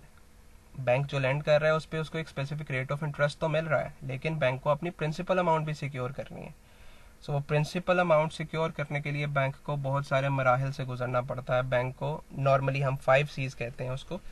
Five Cs that means character capacity collateral cash flow and conditions ये देखनी पड़ती हैं अगर पाँचों चीज़ों पे कोई कस्टमर मायार पे पूरा उतरता है, फिर बैंक डिसाइड करता है उसको लेंड करने के लिए। और उसके अलावा भी बहुत सारी चीज़ें सो रिलेशनशिप साइड का काम ये है कि एक इंडिविजुअल किसी भी कस्टमर को जिसको पैसा चाहिए, चाहे वो कंपनी है, चाहे वो इंस्टीट्यूशन है, चाहे वो एक इंडिविजुअल है, उसको फाइंड आउट करके उसका क्रेडिट प्रपोजल प्रिपेयर करेगी। और उसके अलावा एक ऑपरेशन साइड है, जो कि प्रपोजल के साथ साथ उसकी रिस्क असेसमेंट भी करती है कि क्या, कितना रिस्क है एक कस्टमर के ऊपर। इसकी एग्जांपल मैं आपको इस तरह से दूँगा कि आपका एक करीबी दोस्त आपसे एक हज़ार रुपया लोन माँगता है तो आप असेस करते हैं कि रिस्क बहुत कम है क्योंकि इसकी पॉकेट मनी पाँच हज़ार है, ये नेक्स्ट मंथ मुझे वापस दे देगा। सेकेंड सिनेरियो वही करीबी दोस्त आपसे पाँच हज़ार माँगता है। अब रिस्क थोड़ा ज़्यादा हो गया कि वो वापस आएँगे या नहीं आएँगे, लेकिन आप फिर भी उसको लोन दे देते हैं। बेस्ड ऑन के इसकी फाइव थाउज़ेंड पॉकेट मनी है, कहीं ना कहीं से अरेंज कर देगा, इसको ज़रूरत है। बाय एनी मीन्स उसको दे देते हैं। अब अगर वो दस हज़ार रुपये माँगता है now that means risk is multiplied and similarly अगर वो एक लाख रुपये माँगता है तो मैनीफोल्ड रिस्क है। तो इस सिनेरियो में बैंक भी देखता है कि एक इंडिविजुअल कस्टमर के ऊपर कितना रिस्क लिया जा सकता है। सो रिस्क असेसमेंट के डिफरेंट डिपार्टमेंट्स काम कर रहे होते हैं। डिफरेंट अथॉरिटीज़ होती हैं जो उस रिस्क जो उस रिस्क को एक्सेस करके अंदाज़ा लगा के, तहमीना लगा के डिसाइड करते हैं कि क्या इसको लोन देना है या नहीं देना। So credit department multiple departments के ऊपर बेस करता है, जिसको अभी वन बाय वन हम डिस्कस भी करते हैं। क्रेडिट डिपार्टमेंट को अगर हम डिवाइड करें तो नॉर्मली बैंक्स में इन चार हिस्सों पे डिवाइड किया जाता है, जिसमें एसएमई है small and medium enterprise commercial sector होता है कॉर्पोरेट सेक्टर एग्रीकल्चर सेक्टर एक डिफरेंट सिनेरियो में आ जाता है। एग्रीकल्चर किसी में भी फॉल कर सकता है लाइक कमर्शियल में भी कॉर्पोरेट में भी। अभी मैं आपको बताता हूँ कि कैसे। बहरहाल, इसको अलहदा से मैंने इसलिए लिखा क्योंकि एक फ़ील्ड ही अलग है।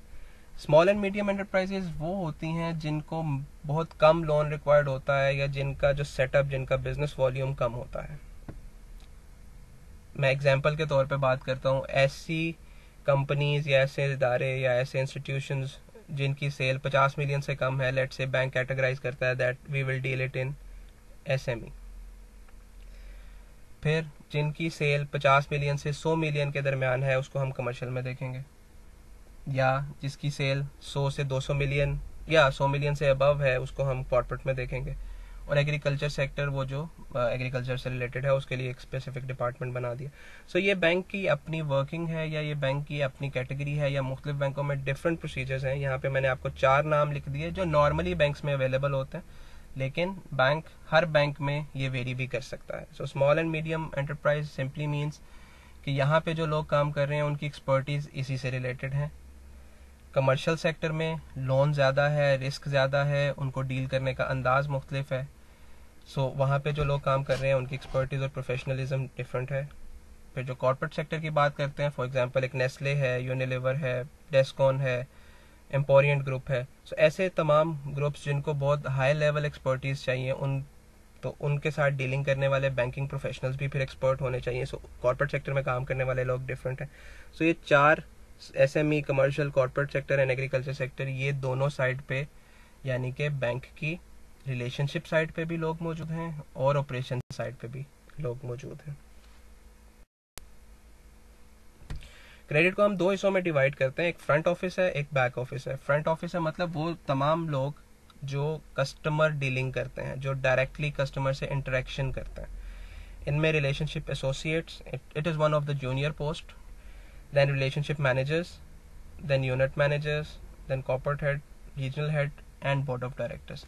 Comparatively operation side के नस्बत इनकी हैरारकी कम होती है because it is a specialise department operations department में बात करें तो जैसे कैशियर है तो कैशियर के ऊपर हेड कैशियर है, फिर ऑपरेशंस मैनेजर है, फिर ब्रांच मैनेजर है, फिर एरिया मैनेजर है, फिर cluster manager regional manager so hierarchy is a very long kind of hierarchy here we have a certain specific smaller hierarchy यहाँ पे ग्रोथ के चांसेस भी बहुत ज़्यादा हैं, क्यों ज़्यादा है? बिकॉज़ इनकी एक्सपर्टीज़ बहुत ज़्यादा है.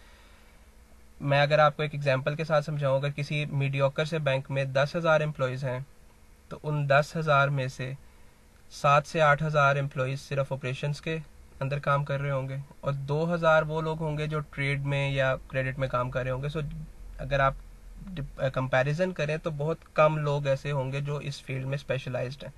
सो so, जब हमेशा डिमांड ज़्यादा होगी सप्लाई कम होगी किसी चीज़ की तो उनकी प्राइस ज़्यादा हो जाएगी और इनकी वर्थ भी इसीलिए ज़्यादा है क्योंकि मार्केट के अंदर इनकी सप्लाई कम है और इनकी डिमांड ज़्यादा है because every bank need specialised person for trade and for credit and for treasury etcetera फिर एक अप्रूविंग अथॉरिटी है क्रेडिट लोन की। सो so, सबसे पहले मैंने आपको बताया एक ऐसे इंडिविजुअल जो कि टारगेट करते हैं न्यू कस्टमर्स को कि आप जिनको लोन चाहिए। फिर उनके बाद रिलेशनशिप साइड प्रपोजल बिल्डअप करती है उस कस्टमर के सारे फैक्ट्स एंड फिगर्स के साथ उनके फाइव सीज को देखते हुए। उनकी कैपेसिटी ऑफ़ रीपेमेंट को देखते हुए उनकी कोलेट्रल उनकी सिक्योरिटी को देखते हुए एक प्रपोजल बिल्ड करती है that a customer needs ten million he is offering over uh, he is offering to us a house of rupees 20 million as a security. For example relationship manager को लगता है कि प्रपोजल वायबल है वो proposal build करता है और वो प्रपोजल बिल्ड करने के बाद अपनी अप्रूविंग अथॉरिटी को सेंड कर देता है। अब अप्रूविंग अथॉरिटी में मैंने यहाँ पे चार अथॉरिटीज़ लिखी हैं, जिसमें से एक ब्रांच मैनेजर है, फिर एरिया मैनेजर है रीजनल कमेटी है और सेंट्रल और मेन कमेटी है। ये कमेटीज़ काम करती हैं मुख्तलिफ़ एक्सपोयर की बेस पे। फॉर एग्ज़ाम्पल एक एक्सपोयर है सिर्फ़ कोई इंडिविजुअल लोन लेने आया सिर्फ़ पाँच लाख रुपए का तो इसके लिए शायद ब्रांच मैनेजर को अप्रूवल हासिल है कि वो अप्रूव कर सकता है इतना लोन लेट से कि लोन वन मिलियन का है सो वन मिलियन में भी एरिया मैनेजर अप्रूव कर सकता है। पचास मिलियन तक का लोन है, शायद कोई रीजनल कमेटी अप्रूव कर सकती है। और अगर सौ मिलियन से ऊपर लोन है तो शायद सेंट्रल और main committee so it bank मुख्तलिफ़ बैंक के मुख्तलिफ़ पॉलिसीज़ हैं, जो based on exposure based on risk based on amount of lending मुख्तलिफ़ अथॉरिटीज़ बनाती हैं कि कौन इस चीज़ को अप्रूव कर सकता है। ये ऐसे ही है, जैसे एक एप्लीकेशन एक लीव एप्लीकेशन एक लीव एप्लीकेशन को कुछ जगहों पे टीचर अप्रूव कर सकते हैं, कुछ जगहों पे हेड ऑफ़ डिपार्टमेंट कुछ जगहों पे प्रिंसिपल कुछ जगहों पे रजिस्ट्रार ऑफ़िस कुछ जगहों पे vice chancellor office so by any means we have different authorities who can approve or disapprove the loan based on a certain exposure. So दूसरी साइड पे बैक ऑफ़िस है. बैक ऑफ़िस वो होता है जो बहुत सारे ऑपरेशन क्रेडिट के लिए परफॉर्म कर रहा है, लेकिन वो डायरेक्ट डीलिंग नहीं करता. कस्टमर के साथ। इनमें दो डिपार्टमेंट्स यहाँ पे मैंने मेंशन किए हैं। The first one is credit administration department CAD and second credit risk review unit C R R U इनके नाम मुख्तलिफ़ हो सकते हैं मुख्तलिफ़ बैंक्स में बट रिस्पॉन्सिबिलिटीज़ या काम ऑलमोस्ट सिमिलर है। सो so, उसी प्रोसेस को आगे लेके चलूँगा। सबसे पहले एक नया कस्टमर को फाइंड आउट किया गया टारगेट किया गया। उसके बाद एक प्रपोजल बिल्डअप किया गया। उस प्रपोजल को लेट से जो प्रीवियस स्लाइड में मैंने आपको अथॉरिटीज़ बताई, उन अथॉरिटी ने अप्रूव कर दिया। Now that was only a document एक क्रेडिट प्रपोजल बनाया गया था कि एक इंडिविजुअल को 10 मिलियन लोन दिया जाएगा, उसके अगेंस्ट 20 मिलियन का एक घर सिक्योरिटी के तौर पे लिया जाएगा, और वो प्रपोजल कमेटी ने अप्रूव कर दिया। अब वो तमाम चीज़ें जो क्रेडिट प्रपोजल में लिखी गई थी, वो एक्चुअल फ़ेज़ में और एप्लीकेबिलिटी वाली साइड पे आएँगी। क्या एप्लीकेबिलिटी वाली साइड के पहले बैंक अपनी सिक्योरिटी को परफेक्ट करेगा? वो सिक्योरिटी जो 20 मिलियन का एक घर है, उसकी तमाम डॉक्यूमेंटेशन करेगा। वो डॉक्यूमेंटेशन क्या है? देख, उसके लिए फर्द is a document which shows the ownership और it is the title document फर्द एक ऐसा डॉक्यूमेंट होता है जो पटवारी इशू करते हैं। और उसमें लिखा होता है कि प्रॉपर्टी किसके नाम पे so, बैंक सबसे पहले वो फर्द हासिल करता है और देखता है कि ये प्रॉपर्टी जो हमें सिक्योरिटी के तौर पे दी जा रही है ये उसी के नाम पे है जो लोन ले रहा है। फिर उसके बाद उसके ऊपर एक चार्ज क्रिएट किया जाता है एस e के थ्रू जिसको हम मॉडगेज चार्ज कहते हैं। इसकी डिटेल आई होप कि आपने ब्रांच बैंकिंग में पढ़ी होगी। इसी तरह कुछ डॉक्यूमेंट्स साइन करवाए जाते हैं जिसमें एक फाइनेंस एग्रीमेंट है जिसमें बाउंड किया जाता है एक कॉन्ट्रैक्ट किया जाता है उस इंडिविजुअल से जो लोन ले रहा है कि हम आपको 10 मिलियन का लोन दे रहे हैं, जिसके अगेंस्ट 20 मिलियन की आप सिक्योरिटी हमें दे रहे हैं। स्पेसिफिक रेट ऑफ़ इंटरेस्ट होगा। अगर आप हमें वो पैसे वापस नहीं करेंगे तो हम आपकी सिक्योरिटी भेज देंगे। So basically different terms and condition के ऊपर मुख्तलिफ़ डॉक्यूमेंट्स होंगे जो बैंक प्रिपेयर करेगा। और वो डॉक्यूमेंट्स जो प्रिपेयर करता है, उस डिपार्टमेंट को हम क्रेडिट एडमिनिस्ट्रेशन डिपार्टमेंट कहते हैं। सो so, वो डॉक्यूमेंट्स प्रिपेयर करने के बाद फ्रंट ऑफ़िस में दिए जाते हैं। फ्रंट ऑफ़िस के रिलेशनशिप मैनेजर को दिए जाते हैं कि अपने कस्टमर से साइन करवाएँ और साइन करवा के हमें वापस रिटर्न करें। सो so, प्रोसेस क्या है?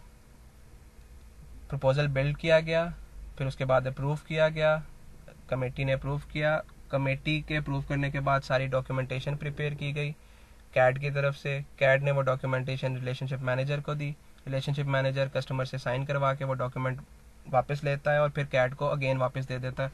उस डॉक्यूमेंट की बेस पे CAD department credit administration department उस फैसिलिटी को उस सिक्योरिटी को उस कोलेट्रल को परफेक्ट करता है हर उस जगह पे जहाँ जहाँ लीगल डॉक्यूमेंट चाहिए होता है। सो so, जब वो परफेक्ट हो जाता है परफेक्ट का मतलब ये है कि कोई लकूना नहीं रह गया कोई ऐसी चीज़ नहीं रह गई कि जिसकी वजह से अगर इंडिविजुअल पैसे वापस नहीं करता तो वो सिक्योरिटी बेच के बैंक अपना पैसा रिकवर कर ले। सो so, वो तमाम लूप होल्स को कवर करता है इसको हम कहते हैं परफेक्शन सो so, जब वो परफेक्ट हो जाता है तो फिर वो एक डॉक्यूमेंट इशू करता है जिसको कहा जाता है डिस्पर्समेंट ऑथराइजेशन सर्टिफिकेट डैक ये वो डॉक्यूमेंट है जिसके बाद आप कस्टमर को लिमिट असाइन कर सकते हैं यानी कि वो लोन जो 10 मिलियन का डिमांड किया गया था वो लोन अब आप अब ग्रांट कर सकते हैं। सो so, वो डैक लेने के बाद ये कैट डिपार्टमेंट जब डैक इशू करेगा रिलेशनशिप मैनेजर को रिलेशनशिप मैनेजर उस डैक की बेस पे कस्टमर के अकाउंट में एक लिमिट फ़ीड करेगा, जो कि मैंने एग्जांपल में आपको 10 मिलियन बताई। अब कस्टमर वो 10 मिलियन यूज़ कर सकता है। तो this is the working of credit administration department फिर उसके बाद एक डिपार्टमेंट है which is called credit risk review unit credit risk review is an ongoing process हर साल डिफरेंट सैम्पलिंग की बेस के ऊपर कुछ अकाउंट सेलेक्ट किए जाते हैं और उनका रिस्क रिव्यू किया जाता है। एक रिस्क रिव्यू है जो प्री डिस्पर्समेंट रिस्क रिव्यू है, जैसे रिलेशनशिप मैनेजर कर रहा है या कमेटी कर रही है या अप्रूविंग अथॉरिटी कर रही है या कैड कर रहा है, ये वो तमाम चीज़ें जो लोन लेने से पहले रिस्क असेस किया गया। लेकिन ऐसा भी तो हो सकता है कि तब सब ठीक था लेकिन जब लोन ले लिया गया, उसके बाद कस्टमर की कंडीशन ठीक नहीं है, उसके फाइनेंशियल स्टेटमेंट्स ठीक नहीं है, उसको प्रॉफिट की बजाय लॉस होना शुरू हो गया। So credit risk review department basically एक ऑन गोइंग प्रोसेस करता है, जो रैंडमली मुख्तलिफ़ अकाउंट्स को सिलेक्ट करके उनकी करंट पोजीशन को देखता है और फिर देखता है कि क्या इस कस्टमर को हमें कैरी ऑन करना है, या यहीं से उससे पैसे वापस ले लेने चाहिए, या वापस अगर नहीं आते तो हमें क्या फर्दर प्रोसेस अडॉप्ट करना चाहिए। So this is credit risk review unit Next department is Treasury Department. This is one of the best department in the bank. कैसे इसमें बहुत ही स्पेशलाइज्ड किस्म के लोग नॉर्मली सी एफ़ एज हैं या सी एज हैं या अब्रॉड से एम बी ए या बहुत ही हाईली टेक्निकल क्वालिफिकेशंस रखते हैं, वो लोग हायर किए जाते हैं ट्रेजरी ऑफ़िस का काम पूरे बैंक के जो पैसे हैं उसको मैनेज करना है, इस तरीके से कि बैंक को प्रॉफिट हो सके एग्ज़ाम्पल के साथ आपको ये एक्सप्लेन करना चाहूँगा कि एक बैंक की 600 ब्रांचेस हैं। हर ब्रांच डिपॉजिट भी लेती है और लैंडिंग भी करती है। सॉरी डिपॉजिट तो सारी ब्रांचेस लेती हैं, लेकिन कुछ ब्रांचेस लैंडिंग करती हैं, कुछ लैंडिंग नहीं करती।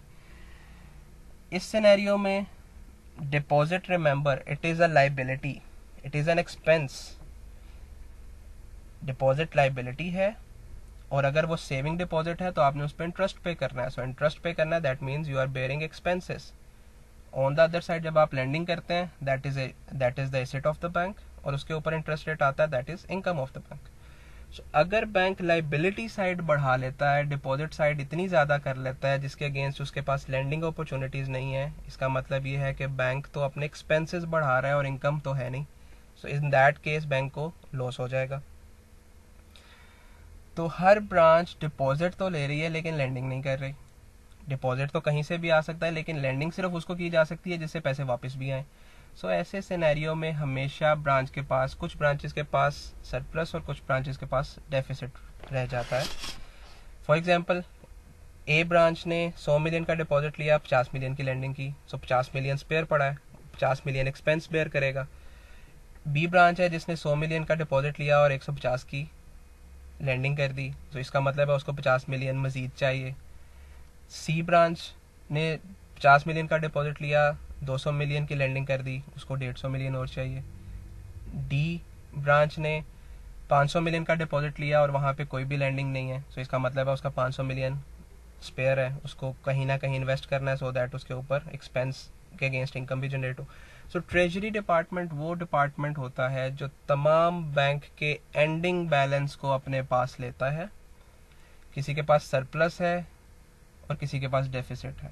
जिसके पास डेफिसिट है, उसको दूसरी ब्रांच से कवर करता है। और जो एवेंचुअली ज़्यादा डिपॉजिट नॉर्मली ज़्यादा डिपॉजिट मौजूद होता है लैंडिंग से, क्योंकि लैंडिंग अपॉर्चुनिटीज़ इतनी नहीं है जितनी डिपॉजिट अपॉर्चुनिटीज़ है। सो डिपॉजिट जितना भी बचता है एग्रीगेट होके ये 600 अरब भी हो सकता है 700 अरब भी हो सकता है। एक मिड मिडियोकर से बैंक के पास चार से 500 अरब का डिपॉजिट होता है। सो वो चार से 500 अरब कहाँ इन्वेस्ट किया जाए? क्या उससे बॉन्ड खरीदे जाएँ? क्या उससे ट्रेजरी बिल्स खरीदे जाएँ? क्या उससे फॉरेन एक्सचेंज खरीदा जाए?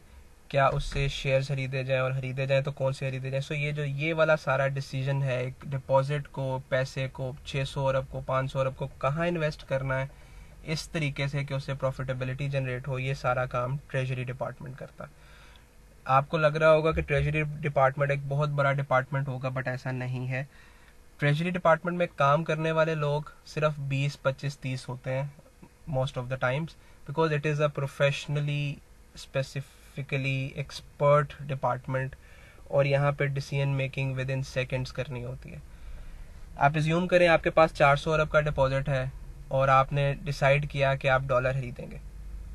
डॉलर का रेट इस टाइम है एक एग्जांपल बता रहा हूँ, एक सौ पचास रुपये one five zero point zero zero zero one so मैं चार डेसिमल तक इसकी रेट बता रहा हूँ। आपने डिसाइड करना है विद इन सेकेंड लेट से आप डिसाइड नहीं कर पाए और आपने पाँच मिनट बाद डिसाइड किया और वो जो डॉलर का रेट था वो अब one five zero point zero zero zero two हो गया। मतलब फोर डेसिमल पे सिर्फ़ एक का इंक्रीज हो गया। तो अब आप उसको चार सौ अरब से मल्टीप्लाई करें तो देखें कि आपने कितनी कॉस्ट इंक्रीज कर ली अपनी। So this is what treasury department is all about they need to be very expert in their decision making and they are the ones who are actually doing uh, to uh, doing doing important work towards the profitability of the bank so this is treasury department अभी तक हमने जो discuss किया ये सारे वो working departments हैं जो सिर्फ और जो नॉर्मली फाइनेंशियल इंस्टीट्यूशंस में काम करते हैं या स्पेसिफिकली बैंकिंग में काम करते हैं इसके बाद अब हम एक जनरल क्योंकि मैं आपको एक पूरे बैंक का ओवरव्यू बता रहा हूँ तो कुछ ऐसे डिपार्टमेंट्स की बात भी करता चलूँ, जो बैंक में मौजूद तो हैं, लेकिन ये वो डिपार्टमेंट्स हैं जो हर ऑर्गेनाइजेशन में मोस्ट ऑफ़ द टाइम्स मौजूद होते हैं। इससे पहले जितने डिपार्टमेंट्स हमने पढ़े, वो स्पेसिफिकली बैंकिंग से रिलेटेड थे। सो ऑडिट डिपार्टमेंट क्या है? They are the ones who make sure about the compliance of all rules and regulations of the bank's internal policy as well as regulatory requirements so, internal audit department banks में मौजूद होता है जो ensure कर रहा होता है कि हर ब्रांच उन्हीं रूल्स के मुताबिक काम कर रही है जो बैंक की पॉलिसी के मुताबिक है। और सिमिलरली हर ब्रांच उसके मुताबिक काम कर रही है जो बैंक के साथ साथ स्टेट बैंक की रेगुलेशंस के मुताबिक भी है because it is mandatory to all the commercial banks to uh, to fulfill all the requirements to fulfill all the rules and regulations are provided by the central bank. So, इसलिए audit department कोशिश करता है कि वो तमाम rules and regulations follow होते हो। और अगर वो फॉलो नहीं होते तो सेंट्रल बैंक पेनल्टी चार्ज करता है और ऑडिट डिपार्टमेंट का काम है उन पेनल्टीज को कम से कम रखना। इसी तरह बहुत सारे और डिपार्टमेंट्स हैं जिनमें एच डिपार्टमेंट है मार्केटिंग डिपार्टमेंट है फाइनेंस और आईटी ये यकीनन आपने अपने प्रीवियस जो सब्जेक्ट्स हैं, उनमें पढ़ा होगा। एच का काम रिक्रूटमेंट सिलेक्शन से रिलेटेड होता है सो बैंक में भी रिक्रूटमेंट सिलेक्शन होती है। बैच हायरिंग भी होती है और इंडिविजुअल हायरिंग भी होती है सो ये एच का काम है। मार्केटिंग डिपार्टमेंट मुख्तलिफ़ प्रमोशंस मुख्तलिफ़ एडवर्टाइजमेंट्स बनाना या मुख्तलिफ़ प्रोडक्ट्स में मार्केटिंग का काम। फाइनेंस डिपार्टमेंट ऑब्वियसली बैंक की बैंक में भी सैलरीज हैं। इसको एडमिन डिपार्टमेंट से भी लिंक कर सकते हैं। सो फाइनेंस डिपार्टमेंट जो है, वो फाइनेंशियल मैटर्स से डील करता है। और लास्टली आईटी डिपार्टमेंट बैंक के अंदर जो सॉफ्टवेयर यूज़ होते हैं they are very specialised because financial transaction है तो यहाँ पे कोई भी लूप होल नहीं छोड़ा जा सकता जिससे हैकिंग या अकाउंट्स में कोई भी मैनिपुलेशन की जा सके। So I T department is another